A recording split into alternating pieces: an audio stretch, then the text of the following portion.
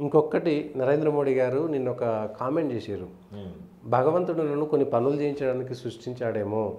రెండు వేల నలభై ఏడు దాకా నేను రిటైర్ అవుతానో కానో నాకు తెలియదు భగవంతుడు నేను కొన్ని కొన్ని పనులు నాకు అప్పచెప్పిండు ఆ పనులు పూర్తి చేసేంత వరకు నేను రిటైర్ అవ్వను అని అన్నాడు. నిజంగా అది తనను తాను ఎక్కువ ఊహించుకున్నట్ట? నిజంగా భగవంతుడు ప్రతి జీవిని అట్లనే పంపిస్తాడా? ఏం లేదు. ఇప్పుడు భగవద్గీత యొక్క సారాంశం అదే నిజంగా చెప్పాలంటే. ఓకే. అంటే కృష్ణుడు ఎప్పుడైతే గీతను చెప్పడం మొదలుపెట్టిండో. అర్జునుడు తన యొక్క కర్తవ్యాన్ని విస్మరించిండు ఆయన. క్లైబ్యం ఆస్మగమ పార్థ నైతత్వ యుపపద్యతే. క్షుద్రం హృదయ దౌర్బల్యం త్యక్తోత్తిష్ట పరంతప. ఓ అర్జున నీ యొక్క హృదయ దౌర్బల్యాన్ని వదిలిపెట్టి ఈ నపుంసకాన్ని తత్వాన్ని వదిలిపెట్టి పైకి లేవు నువ్వు లేచి నీ కర్తవ్యాన్ని నువ్వు చెయ్యి. చెయ్యి అని చెప్పాడు. అంటే యోగ కర్మ సుకౌశలం నువ్వు చేసేటటువంటి పని కర్మ ఎప్పుడైతే సుకౌశలంగా చేస్తావో దాని పేరే యోగం అని చెప్పింది భగవద్గీత. తన ఉద్దేశం ఏంటంటే ఈ ప్రపంచంలో ప్రతి మానవుడు ఈ మానవ జన్మ పరమేశ్వరుడు ఊరికే ఇవ్వలేదు. ఆహార నిద్ర భయమైతునంచ. సమానమేకం పశుభిర్నరానం.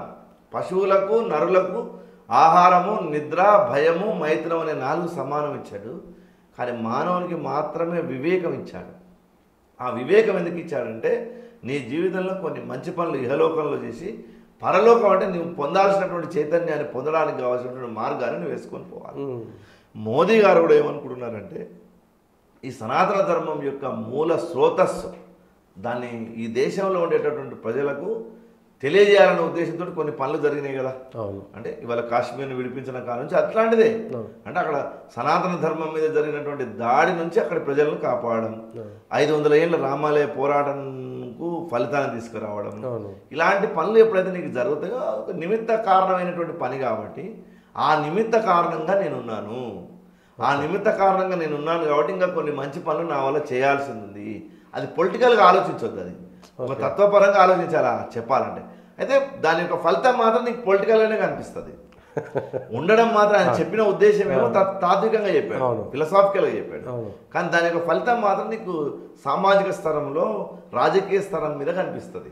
అంటే విమర్శలు ఏమొస్తుంటే తనకు తనకు తాను కారణ కారణ జన్ముడిగా మోడీ ఇప్పుడు నేను ఏమంటున్నాను పార్టీ నలభై ఏళ్ళ నుంచి ఉంది ఎయిటీ ఫోర్లోనే ఎయిటీ త్రీలో పుట్టింది. అవును. నలభై ఏళ్ళ నుంచి పార్టీ నడుస్తుంది. పార్టీ సిద్ధాంతాలు తెలియవా అవును. కానీ అప్పుడప్పుడు దేశంలో వ్యక్తి కూడా అవసరం పడతాడు. ఇతనైతే బాగా చేస్తాడు. నాయకత్వం కూడా ఇతనైతే నాయకత్వం. కొన్నిసార్లు ప్రజలు కోరుకుంటారు అట్లా. అవును మన దక్షిణ దేశమే తీసుకోండి ఫర్ ఎగ్జాంపుల్. ఒక కరుణానిధి ఓ దేవగౌడ ఓ కేసీఆర్ చంద్రబాబు నాయుడు వైఎస్ రాజశేఖర రెడ్డి.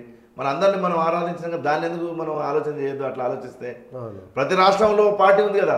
మహారాష్ట్రలో శరద్ పవార్ ఉన్నాడు ఓ బాలా ఠాకరే ఉన్నాడు హర్యానాలో చౌతాలా ఉన్నాడు కాశ్మీర్లో ఫరూక్ అబ్దుల్లా ఉన్నాడు మహబూబా ముఫ్తీ ఉంది ఇంకో చోట పంజాబ్లో అకాలీదళ్ సంబంధించినటువంటి వాళ్ళు ఉన్నారు.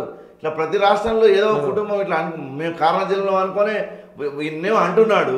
అవును. వాళ్ళు అనకుండానే యాభై ఏళ్ళ నుంచి అధికారంలో ఉన్నారు కదా వీళ్ళందరూ కూడా. కుటుంబాలు కుటుంబాలు. కాబట్టి ఇదే అదేం పెద్ద టెక్నికల్ వర్డే అంతే కానీ దాంట్లో ఏదో పెద్ద మనం వేలు పెట్టి చూపేది ఏమీ లేదు. ఇప్పుడు ప్రజలు ఏం ఆలోచిస్తున్నారు కొన్నిసార్లు అంటే కొన్నిసార్లు పార్టీ కూడా అవసరం లేదు అనుకుంటారు అప్పుడప్పుడు. పార్టీ అవసరం లేదు. ఈ వ్యక్తి అయితే బలంగా ఉంటాడు. పార్టీ ఏదైనా కానీ అనుకునే సందర్భాలు చాలా ఉంటాయి కదా. అవును అవును. ఆ- ఆ సందర్భంలో తీసుకెళ్ళాడు కొంతమందిని. అవసరం అనుకున్నాడు ఆయన. రామారావు అట్లా అంటే తను ఆ వ్యక్తిగా ఇతను గొప్ప చేస్తున్నాడు. అతనికి ఏముందా? ఏమీ లేదు కదా. భార్య లేదు పిల్లలు లేరు ఎవరు లేరు కదా. దాపెట్టుకునేది ఏముంది. అని పల్లెల్లో చర్చించుకునే వాళ్ళు దేవడం అన్నట్టు అది అది కూడా ఒక వ్యూహం అది. రాజకీయ వ్యూహమే అది. అవును. అంతే తప్ప దాని పెద్దగా చిలువల పల్వలు చూసేది ఏమీ లేదు.